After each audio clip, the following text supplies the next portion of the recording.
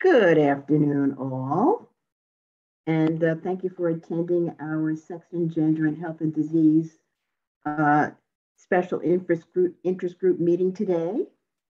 And uh, what I'd like to do, and thank you, um, Elizabeth, for opening up the meeting. I'd like to say that on behalf of the Office of Research on Women's Health, it's my pleasure to welcome you today to this meeting of the Sex and Gender in Health and Disease Scientific Interest Group.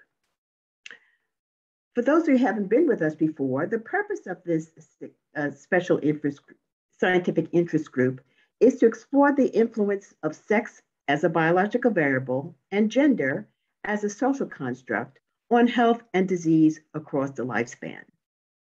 The SIG aims to promote the dissemination of research and foster potential interdisciplinary collaborations among NIH scientists who work on or who are interested in aspects of sex-based research across the research continuum or in sex differences research relevant to health and disease. The SIG also serves as a platform for cross-disciplinary connections. And uh, you might see in this slide that you can join the SIG and subscribe to our mailing list from the SIG webpage. And we invite those of you who aren't yet members of the SIG to join us. oh, my apologies. uh, if you're not a member of the SIG, we invite you to join us. If you'd like to receive information from today's SIG by email, please put your name and email address in the chat. And so with that, I'll turn it back over to Dr. Elizabeth Barr, who will now introduce today's speaker. Thank you. Thank you, Dr. Hunter. Dr. Katharine Dalke, MD, MBE, is a psychiatrist specializing in the mental health of adolescents and adults who are LGBTQ or have intersex traits. Dr. Dalke is an assistant professor in the departments of psychiatry and behavioral health and humanities at the Penn State College of Medicine, where she also directs the Office for Culturally Responsive Healthcare Education. Dr. Dalke served on the consensus committee for the report Understanding the Well-Being of LGBTQI plus populations at the National Academies of Sciences, Engineering, and Medicine.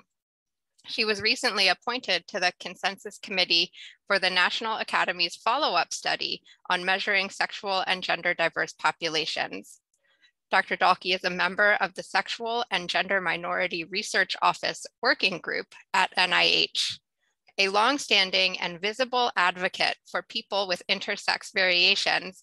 Dr. Dalke has been recognized for her community work appointment with the Pennsylvania Commission on LGBTQ Affairs and several advocacy awards. Dr. Dalke is a graduate of Haverford College and the Perelman School of Medicine at the University of Pennsylvania, from which she earned her MD and a master's in bioethics. She completed her psychiatry residency training at the University of Pennsylvania. It's my pleasure to turn it over to Dr. Katie Dalke for today's presentation. Thank you. Thank you so much, Dr. Barr, for having me, um, and for the and Dr. Hunter for the framing and introduction. Um, as I'm sharing my screen, um, I will start to talk with you a little bit about what the focus of our conversation is going to be. So as Dr. Barr mentioned, I was a consensus committee member and co-author on a report that was published by the National Academies last October that focused on the well-being of LGBTQI plus populations. And, and what I wanted to do today was provide you some information about the background and process of the report um, and do a bit of a deeper dive into what we learned about mental health and mental health disparities in LGBTQI populations. As we talk through this, I'll spend um, probably more time actually than you might expect talking about the other areas of the report. Um, but my, my goal in doing so is to help you understand really that mental health outcomes and mental health disparities among LGBTQI plus populations are really a downstream effect of a wide variety of um, phenomenon, stigma, discrimination across society. Um, as we move into the conversation, I have no relevant financial conflicts to disclose. Um, I do want to acknowledge, however, that you know, my discussion of this topic is influenced by my positionality and my personal relationship to the material.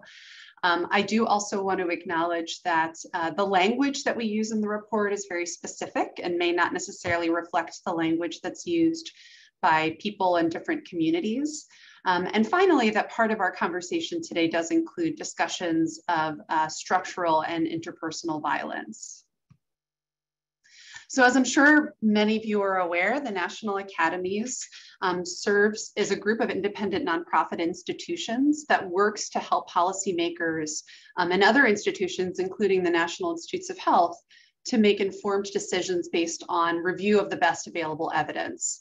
Um, the goal of National Academies reports is always to provide unbiased and authoritative advice that's really heavily grounded in and influenced by the best available information um, and evidence, excuse me.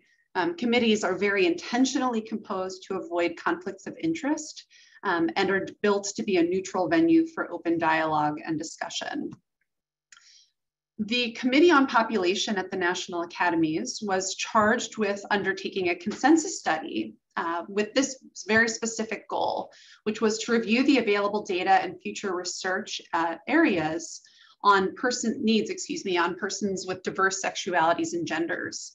Um, and importantly, uh, intersex folks or people with differences in sex development was very intentionally included um, in LGBTQ plus populations. And the idea was to not just focus specifically on sort of a set set of outcomes, but to look across multiple intersecting dimensions across the life course. The domains that were suggested as part of our overview were, were pretty broad, and as you see, range from um, patterns of stigma, violence, and victimization, relationships with families, cultural and educational institutions, civic engagement, um, socioeconomic status, engagement with the legal system, social change, and then population health and well-being. Our, our study committee was constructed to reflect that really wide range of uh, domains that we were invited to, that we were charged, excuse me, to consider. Uh, we have on our committee, we have psychologists, legal scholars, epidemiologists, um, clinicians, and um, and economists, sociologists. Um, and I can say that the our committee having this really diverse set of uh, academic expertise made for a really interesting and engaging discussion. Um, and I think, as you'll see, some really interesting and rich findings in the report. I do also want to acknowledge that we had an excellent staff that worked very hard to support us, um, including a consultant, um, Dr. Kellen Baker. And I do also want to give credit specifically to Drs. Kellen Baker and Dr. Jordan White, um, who were directly involved in um, helping me craft the slides that I'm using today. So as you can see, so the report, as I mentioned, was published in 2020, and the project began um, in 2018 with an initial planning meeting on the demography of sexual and gender minorities. In 2019, the National Academies held an expert meeting on the demography of sexual and gender minorities and follow up to that planning meeting. And then we held an open stakeholder session at our first meeting in 2019, and then another open amplifying visibility seminar in 2019, um, the, the latter of which was really designed to make sure that we were gathering as much information from perspectives that were not represented on the committee. One of the most, I think, interesting um, decisions that we as a committee made was actually choosing to use the language sexual and gender diverse throughout the report. Um, I want to be really clear that in no way are we recommending that this be terminology that researchers or policymakers should be using, because it really does not come from communities. This was our way of capturing really two things the first is that our understandings of sexual orientation, gender identity, and physical sex, and the terms that we use to describe these understandings are really constantly evolving. Uh, within that, um, that diamond there, you can see just a selection of some of the terms that are used within communities um, and also within research and policy to try to describe these populations or to, for the populations to describe themselves And over the course of my own career, I've seen these terms fluctuate really significantly. So part of the, the challenge was finding language that was encompassing and agile enough to honor and reflect that constant evolution and shift in understanding. The other reason that we chose the language, uh, particularly uh, deciding not to use the language of sexual gender minority, is to reflect a growing understanding that these experiences are a part of normal and broad spectrum of human variation along these axes of sexual orientation, gender identity, and sex development. So the term we liked really because it reflected um, the goal to be affirming and validating of these normal of human variations, but also to be agile and encompassing enough of the, of the huge variety of identities and experiences under this umbrella. I also want to say that as we thought about well-being, we thought about well-being really broadly, both in terms of subjective markers of well-being, things that folks were um, describing and reporting themselves, but also objective findings of well-being um, across not just health, but across a wide range of economic and sociocultural findings as well. You can see here under the orange, the, with the orange bullet points at the bottom, that we really focused on eight sort of central domains of well-being being law and legal systems, public policy, community and civic engagement, family and social relationships, education, economics, and then physical and mental health and access to evidence-based health services. One of the reasons that we, we actually list, we have, um, I think physical and mental health is chapter 11, I wanna say in the report, and is really the penultimate chapter on these domains of well-being is was that was a decision that was made very intentionally because as i mentioned before as we worked our way through the evidence base and the literature we really found that physical and mental health disparities are downstream effects of phenomena and disparities that are occurring at each of those previous domains of well-being. So now what I'll do is start to walk through some of the findings of the report for you and we'll come to physical and mental health um, after providing some broad overview of the other aspects. Um, I do also want to say that we used a set of theoretical frameworks for approaching and understanding these diverse populations. Um, I'm not going to go into much detail about these today, except to say that we worked very hard to be inclusive of the theoretical frameworks that uh, both helped both helped us understand how disparities evolve and how resilience evolves as well, um, but also frameworks that had empirical evidence to support their use in this report. So as we move into the first domain, which was demography, um, some of the key findings from our um, review of the demography literature is that the visibility of sexual and gender diverse populations is, has been consistently increasing also that social climates around sexual and gender diversity are overall generally improving. And this in particular, by the way, I should have said earlier, I apologize, is with respect to a report that was issued by the National Academies in 2011, um, specifically from the Institute of Medicine on the health of LGBTQ populations. And since that 2011 report, we really saw a, a marked um, increase in population visibility and uh, improvements in social climates. However, um, demographic analyses, and in particular being able to generate accurate um, estimates of prevalence of different kinds of identity groups and identity populations were complicated by rapidly changing trends within the populations that we're looking at, specifically finding that populations, sexual and gender diverse populations are becoming younger more racially diverse with a wider range of languages um, and descriptors that people are using along with this, and also more inclusive of bisexual people, especially women, who may identify as sexual gender diverse, but be in, for example, a heterosexual relationship. We also found that fluctuations in political and legal environments, and as you'll see, that varies, the fluctuations are not just over time, but even geographically or regionally complicated demographic analyses. Um, but really, perhaps most um, strikingly above all was a really widespread lack of data collection, broadly speaking, on sexual orientation, gender identity, and intersex status. And it's very hard to, to draw conclusions about what these populations look like when we're not collecting data um, on who who identifies as being as who either identifies as being as part of this one of these populations um, or who uh, could be identified by another person as being situated within one of these populations. We found in particular that sexual orientation, gender identity, and intersex status were pretty inconsistently included in a variety of um, data resources, including public and private population surveys, clinical trials, and other research studies. That in particular is a major um, focus of work of the Sex and Gender Minority Research Office um, for you all at NIH. Administrative data systems um, across public and private sectors and electronic health records. And that we really need this data in particular in order to drive research agendas, monitor population trends, guide resource allocation for policymakers, and also to inform policies to advance equity for sexual and gender diverse populations. So you can see that the as a committee, we felt very strongly that having access to this data is really central to being able to advance um, the things that are important to improve the health and well-being of LGBTQI plus folks. So in our chapter on law and legal system, what we found is that overall is that there has been um, steady improvement in the treatment of sexual and gender diverse people across the US, but not uniformly.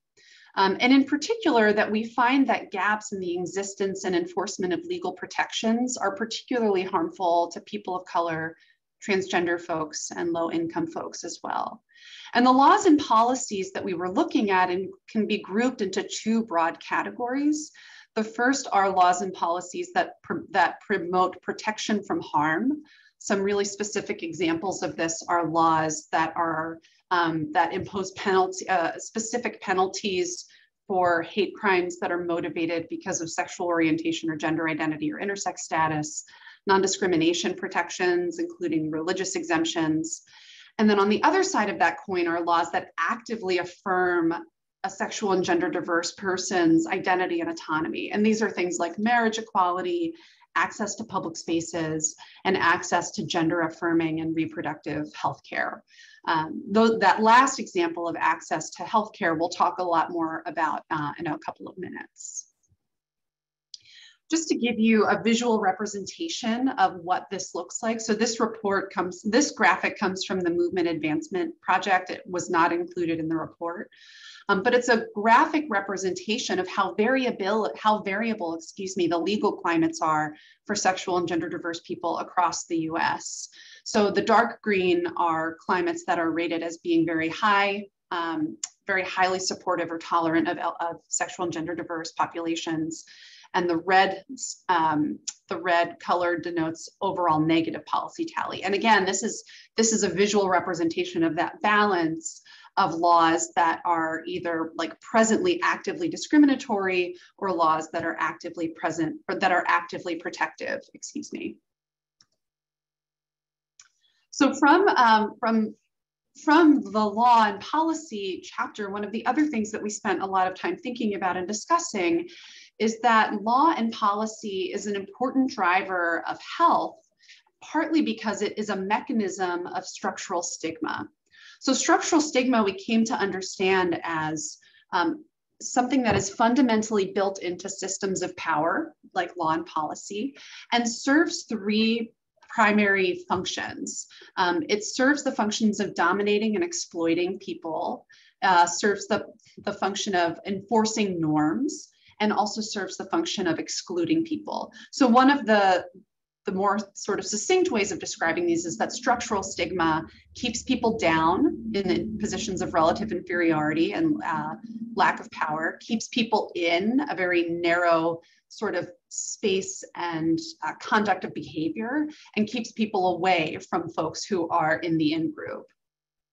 And the reason this is so important is because there's an emerging and, and significant body of evidence that suggests that structural stigma, as in particular as it plays out in law and policy, is a major determinant of health.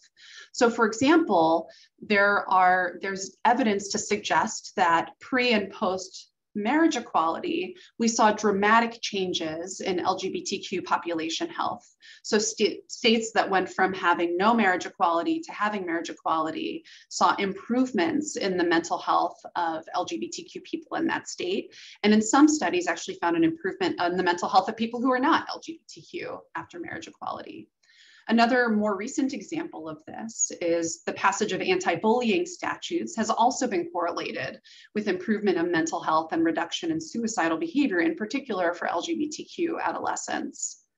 But at the same time, as I indicated, you know, this is an emerging evidence base um, and we, we can conduct quasi-experimental studies to understand the relationship between policies and outcomes. But there, there, this is a really important and significant research gap in which we need innovative research and data collection efforts to better understand how stigma has the effect of, um, has uh, affects, excuse me, sexual and gender diverse population health.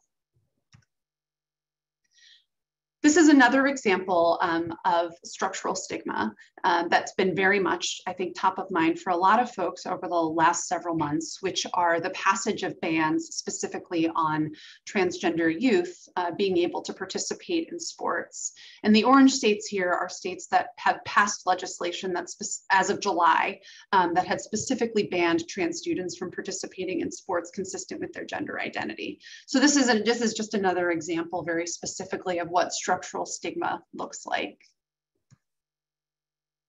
So as we move on to community and civic engagement, um, what, we, what we found is that access to safe and safe and affirming physical and virtual social spaces is really essential to the well-being of sexual and gender diverse populations.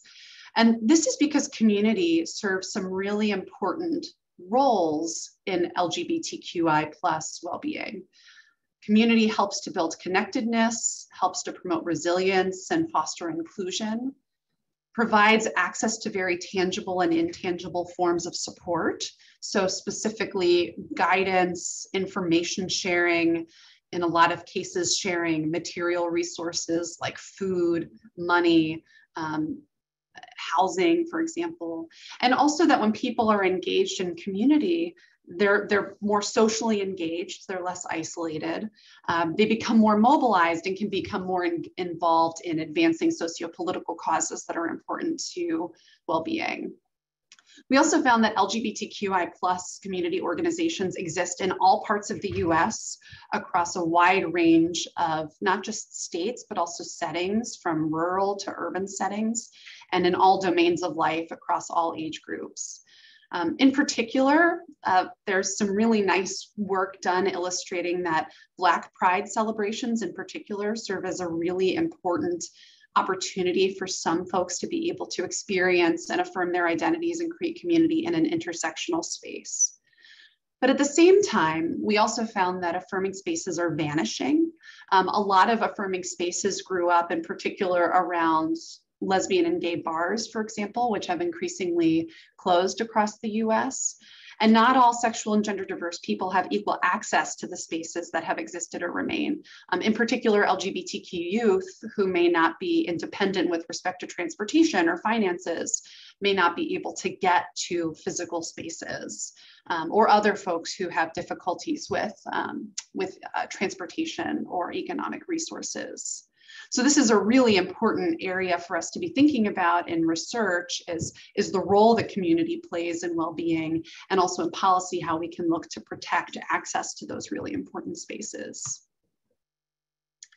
So looking at family and social relationships as a, as a kind of more microscopic or microcosmic, I should say rather, um, sort of view of community, we found that relationships are really critical to the development of well-being of sexual and gender diverse youth and adults. Um, it, it turns out that having, having good relationships and having affirming relationships in particular are important to promote health and that the most the, the research suggests that the most central or important relationships are those with parents, teachers, peers, and romantic partners. Um, we also found that there was a, which I apologize is not included on the slide. We also found that there's evidence to suggest that lesbian and gay adults in particular, um, with the passage of marriage equality, are able to become parents more easily and more frequently than in previous generations. Um, and that this serves a really important role in creating community and uh, in, create, in amplifying visibility as well of lesbian and gay relationships. But on the other side of the coin, we also found that for many, but not all sexual and gender diverse people, family and social relationships can be strained as a function of stigma, um, which can be associated with negative health consequences. And you'll see there are sp some specific examples of that when we come to mental health. When it comes to education and economic settings, uh, we found that many sexual and gender diverse people really experience poor treatment in education environments and a lack of economic opportunity throughout their lives. So what, what I mean by this is that um, LGBTQI students are disproportionately experiencing bullying and harassment from peers and teachers in educational settings that LGBTQI plus people tend to have lower educational attainment. Um, but even when people have comparable educational atten attainment, we see reduced access to economic sources, resources, including employment and income, credit and housing, public assistance and means testing services, and that these disparities seem to be particularly pronounced for transgender and bisexual people, lesbian women, and LGBTQI plus people of color. There, there, um, the Bostock decision in 2020 that Title VII of the Civil Rights Act prohibits employment discrimination against LGBT people um, is really significant, but what exactly that means and how that will play out um, in employment issues and in economic indicators is still not yet known. Okay, so now moving on more specifically to physical and mental health, which I know is really the more kind of immediate reason that you're all here to see me today. So the punchline, which I'm sure will be surprising to almost nobody on the call, is that sexual and gender diverse populations really face significant and numerous and persistent physical and mental health disparities.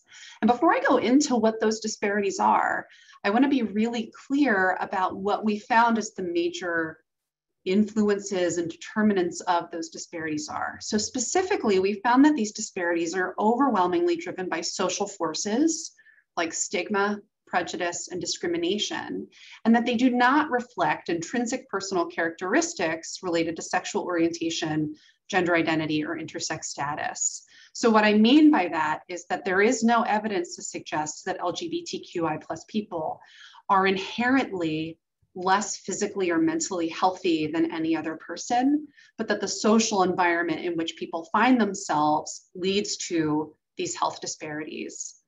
We also find that health disparities are unevenly distributed according to factors such as race and gender.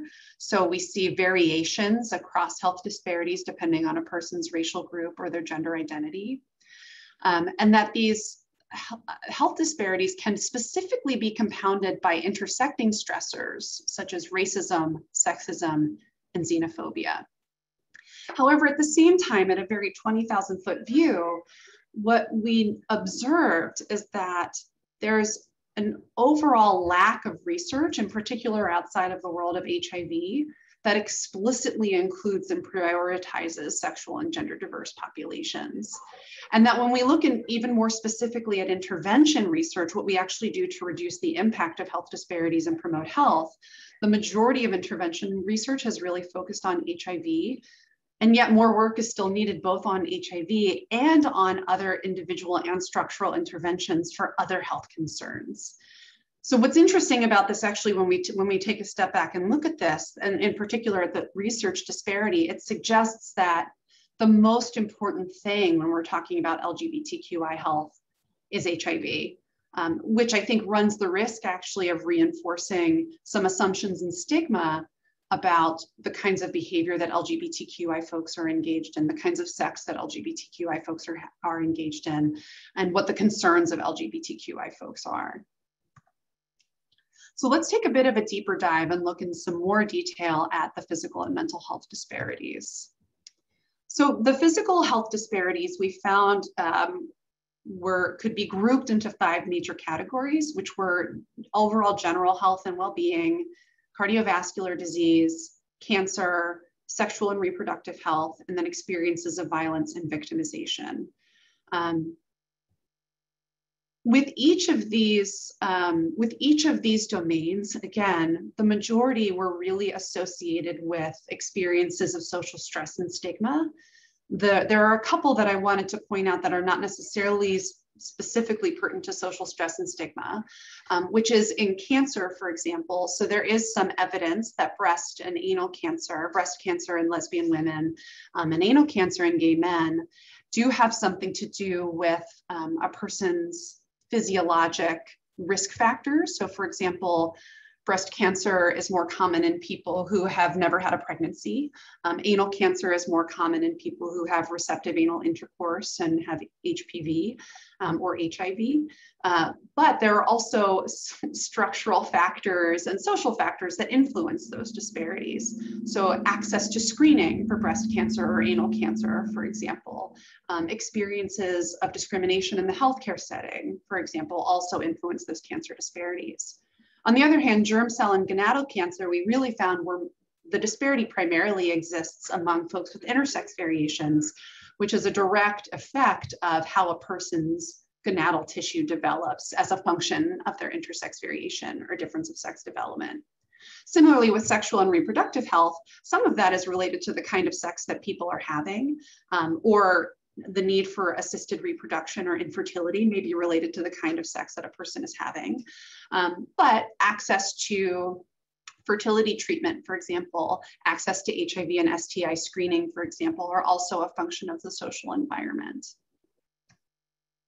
When we looked at health disparities for behavioral health, we found that consistently across studies, across systematic reviews and meta-analyses, um, there were consistent increased risks for mood and anxiety disorders, post-traumatic stress disorder, eating disorders, substance use disorders, and serious mental illness, um, as well as what, what we refer to as the suicidality spectrum. And the suicidality spectrum refers to everything from what's called non-suicidal self-injury. So this is self-harm for the purpose primarily of relieving tension or stress, like cutting or burning, for example, all the way up through suicidal thinking or ideation to suicide attempts or completed suicide or death by suicide.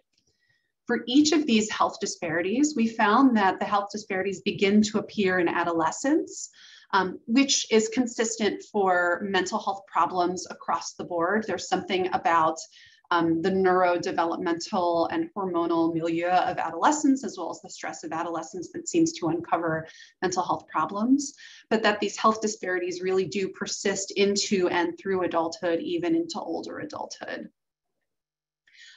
As we looked at the intersectional analysis of health disparities, in particular with respect to specific groups, so most studies that are looking at um, health disparities for LGBTQI populations are taking broad, broad um, survey data or um, health record analysis, for example, of people who are identified as LGBTQ.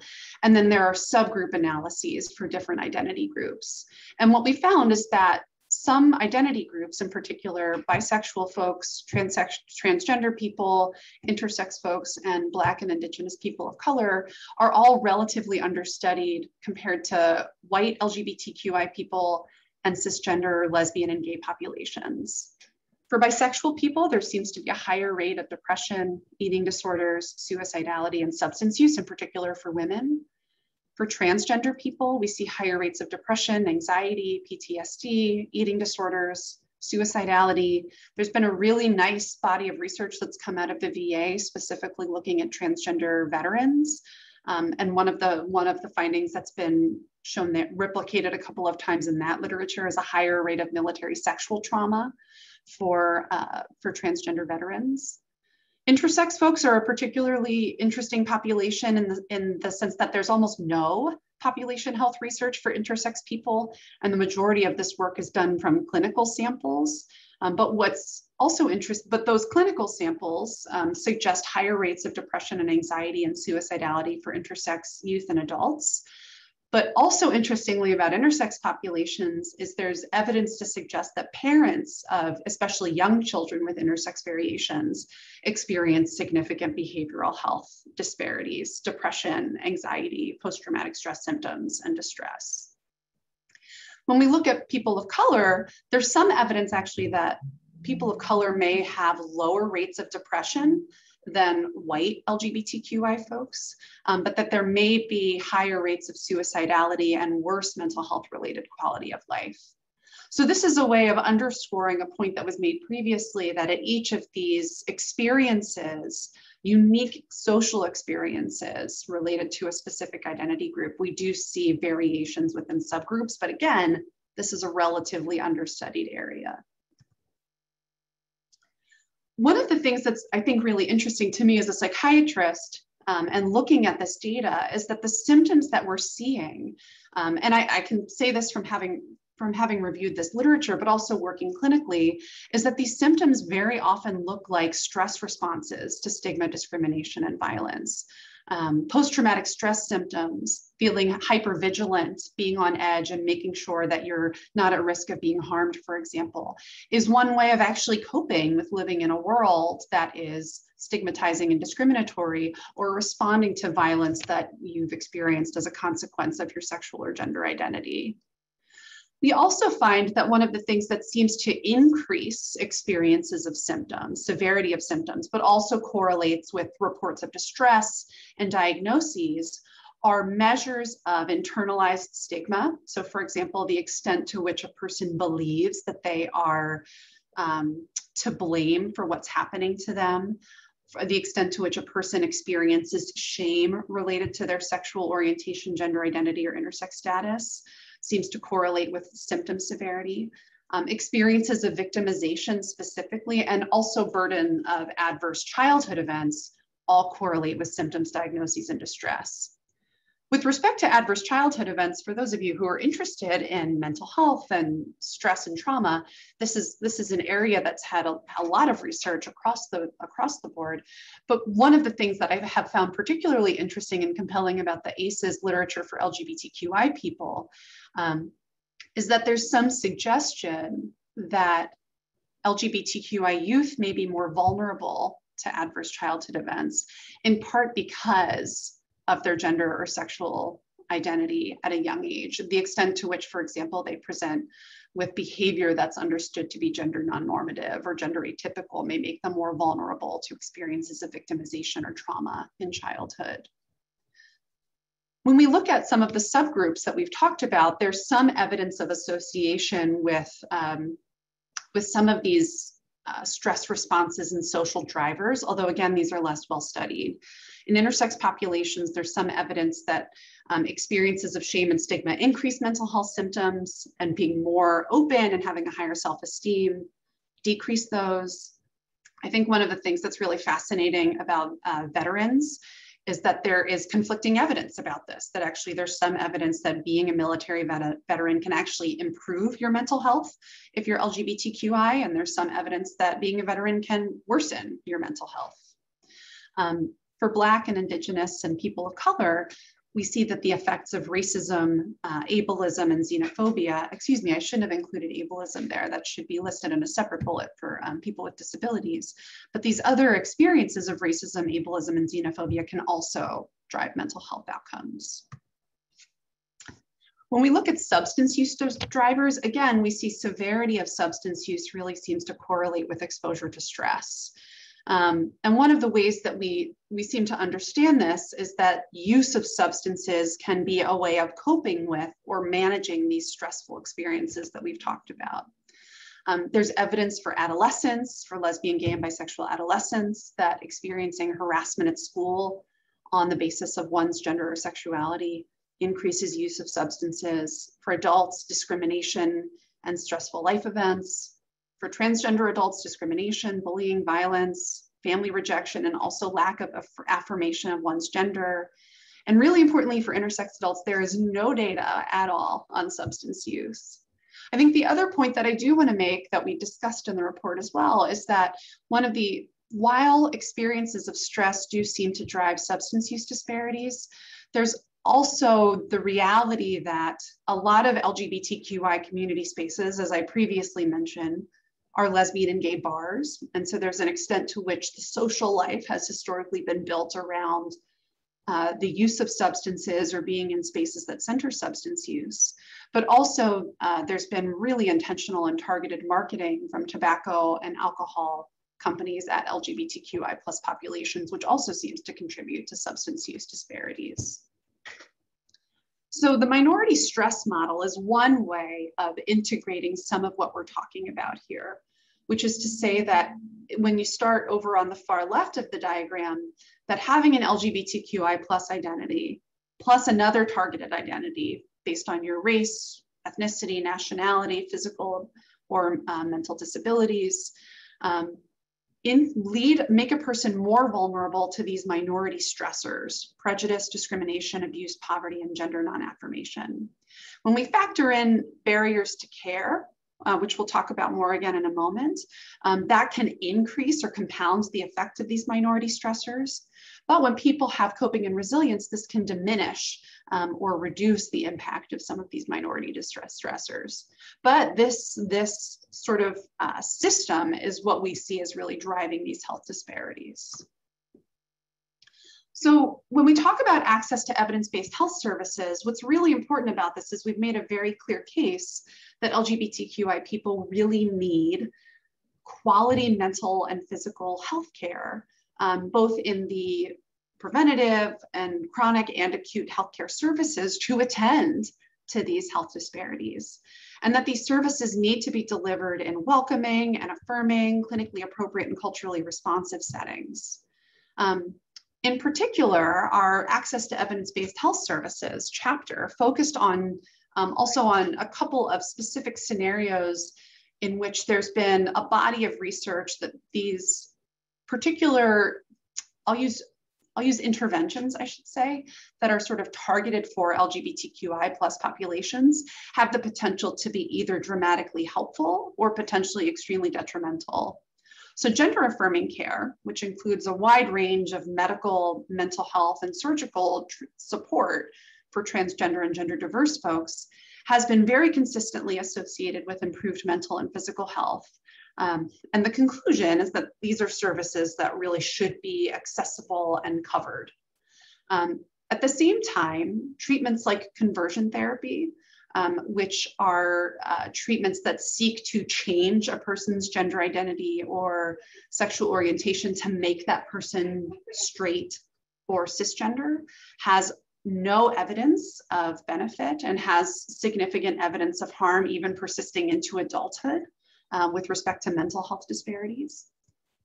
And then we also reviewed the literature on elective genital surgeries for children with intersex traits and found that while there's some evidence that these surgeries can confer some physical benefit, um, one of the major reasons cited for performing these surgeries is improving psychosocial well-being and quality of life. And there's really no evidence that those surgeries do that in particular relative to not having surgery and a growing body of work and research that looks at um, these surgeries as being a violation of a child's human rights. So the, the concern about these two interventions is that sort of on the op, from the opposite side of, of gender affirming care, that these, uh, these um, interventions, which are sometimes made available to people who are part of sexual and gender diverse populations, are not evidence-based, are potentially dangerous to health and well-being, and, and should not be performed or available. When we talk about specifically access to healthcare, there are some important disparities to keep in mind. One is that we see just disparities as far as who has insurance. We see lower rates of income, lower rates of employment, and higher rates of uninsurance. Um, even though uh, since that 2011 report was published, there were two really important policy shifts that increased access to care for LGBTQI plus populations, which were uh, Medicaid expansion under the ACA um, and same-sex marriage, uh, we do still see these disparities persisting, albeit at a somewhat slightly reduced level um, prior to these policy shifts. However, there's also uh, evidence that even when people have access to insurance, that there are disparities um, and even potentially discriminatory practices within insurance coverage that has significant impacts for LGBTQI plus people. Um, so for example, when a person has um, previous HIV infection, um, they may not be able to get insurance coverage. Um, some insurance companies pay uh, tier or list antiretrovirals for HIV treatment at a very high level, making those medications very expensive. And some really specific and evidence-based treatments for LGBTQI plus people, like pre and post-exposure prophylaxis for HIV, um, specific mental and behavioral health care, infertility treatments, gender affirming care, and gender specific services may be excluded and often are excluded um, for many LGBTQI plus populations. And as a clinician who works with LGBTQI plus people, in particular with transgender youth and adults, I can tell you that I see this every single day. Um, and it can be extremely frustrating for folks to see um, just how much it can delay access to care uh, that's really needed. This is, a, this is another visual representation from the Movement Advancement Project um, that looks in particular at states that have the, the state Medicaid policies for gender affirming care. So the green states are states where Medicaid explicitly covers healthcare related to gender transition for trans people. Again, medical, behavioral health, and surgical treatment. The beige or yellow states are states that are silent um, on their Medicaid coverage, and orange states are states that explicitly exclude trans health coverage and care. Um, and I can tell you, and as I live in Pennsylvania, I'm in Harrisburg, Pennsylvania. I'm right now about a mile and a half from the state capitol. Um, this is something that comes up almost every single legislative session, um, and it it's um, it's an important understanding to really drive home the point that even when folks have access to care, they may not actually have access to care, and that that access to care can be really tenuous and changeable. Finally, what one of the, the other important points to make is that even when people get into the doctor's office and they can get care covered, we see significant experiences of discrimination in healthcare settings. Um, this report of the um, from a national public opinion study um, on the state of LGBTQ populations um, is representative of the findings we saw in other settings. So 20% of people overall and 47% of transgender people had experienced uh, discrimination in a healthcare setting because of their sexual and gender diversity nearly 30% of trans people had avoided seeking health care in the, in the previous year because of fear of discrimination. And 22% of trans people had been denied insurance coverage for preventative screenings based on gender. So this is an example, for, uh, for instance, when a transgender man who may still have breasts is denied access to uh, mammogram because his gender is male and his insurance company doesn't pay for mammograms for men. I think one of the other things that's in, that's in particular important to me in thinking about mental health treatment and psychiatry is that it's not just this expectation of rejection and stigma, um, the dual stigma referring both to stigma for mental health issues as well as previous experiences, but also organized psychiatry's history of approaching um, sexual and gender diversity. Um, so this is this is a graphic that comes from the American Psychiatric Association that tells the story of the inclusion and eventual exclusion of homosexuality um, in the Diagnostic and Statistical Manual, the, the book that we use to um, make mental health diagnoses in psychiatry. And as you notice in 1980, although um, homosexuality was removed, sexual orientation disturbance was um, retained. And this is where we introduced a mental health condition specifically pertinent to gender identity disorder. Um, the image on the left is um, Dr. Um, Dr. John Fryer, who testified anonymously at an APA meeting in 1972, I believe, who was a Philadelphia psychiatrist who had whose, whose message and so testifying was essentially to say, you know, I'm a psychiatrist. This does not make sense to say that we are categorically mentally ill, but also interestingly was a psychiatrist based in Philadelphia who had lost two jobs uh, over the course of his career because of being gay. So this is something that a lot of people are actually very keenly aware of. Um, and conversion therapy, while we now understand this as being sort of on the outskirts of mainstream mental health treatment, was part of organized psychiatry really, really up through the 1970s. So as we start to think about interventions, um, really the, the, kind of the, the, the main takeaway for, for interventions is that we have very little data actually tells us that tells us how to address in particular mental health disparities for LGBTQI plus populations. There's some evidence that targeted or specific psychotherapies for sexual and gender diverse people or assessing minority stress as part of mental health treatment may be helpful. Um, we often talk about specific treatment for LGBTQI plus people with substance use problems or providing culturally responsive care, but there's very little evidence to suggest that, that this actually is, is helpful, um, partly because there's little research that's specifically looked at these things.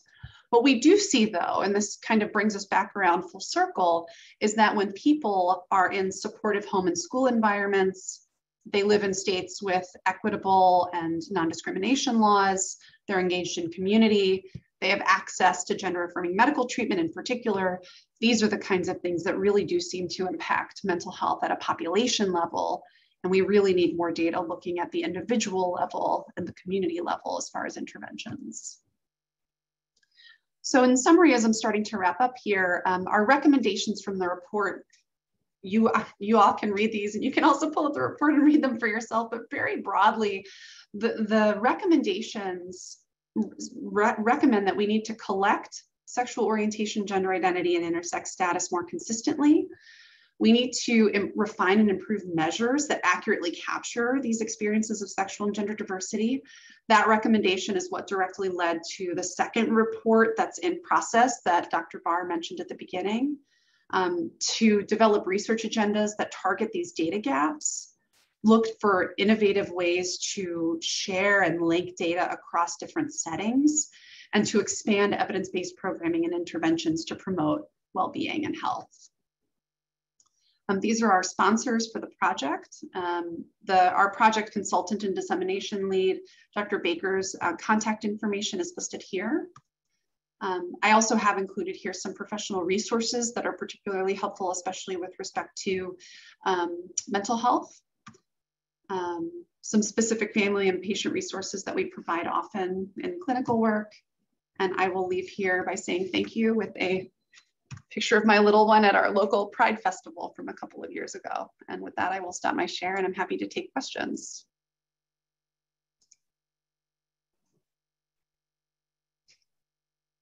Thank you so much, Dr. Dalke. This was really fantastic. Um, as a reminder for folks, uh, if you have questions, you can put them in the chat and we will get through as many as we can. So the first question um, that has come in, you mentioned that social establishments for, establishments for LGBTQ folks like bars are decreasing. Was there any indication as to why this may be so? Yeah, so I think actually um, the the trend seems to be related actually to a really good thing, which is the um, the development of other kinds of spaces for LGBTQ youth in particular. Um, a growth in LGBTQ community centers that provide social opportunities and um, connections for youth, um, but also for kind of increasing visibility and integration um, into society. It, you know, historically speaking, LGBTQ plus folks needed bars because there were places where people could be open in a really secret and um, concealed, almost underground sort of space. And, and there isn't necessarily the cultural imperative for that kind of space anymore where people can date more openly, go with their partner to any kind of bar. Um, the other trend that we saw as well is that the rise of um, being able to connect with people virtually through dating apps and websites as well has to some extent also obviated the need for a bar as being the primary means by which people can meet other folks. Thanks. Um, and then another question that has come in, um, can you give examples to clarify gender affirming treatment and care versus conversion therapy and whether the lack of evidence that you mentioned for conversion therapy's positive effects could be due to the age of that treatment? So that's a that's a very interesting question. So as far as gender affirming treatment um, and care versus conversion therapy, so when when I use the term gender affirming care, I really mean any sort of behavioral health, medical or surgical care that um, sort of meets a person where they are in their own gender identity and gender goals and works with them to achieve what their gender identity and gender goals are. So that runs the gamut for very young transgender children. So, you know, early school age children who are five, six, seven years old. What gender affirming care looks like is supporting parents in using their child's chosen name and pronouns um, at home and at school. And there's evidence that providing that sort of support um, improves mental health for children that young. The other sort of the other sort of and the other sort of component would be for an adult who is interested in taking hormones and having surgery to align their body with their gender identity and, and they may work with a mental health professional as part of the process of achieving those goals.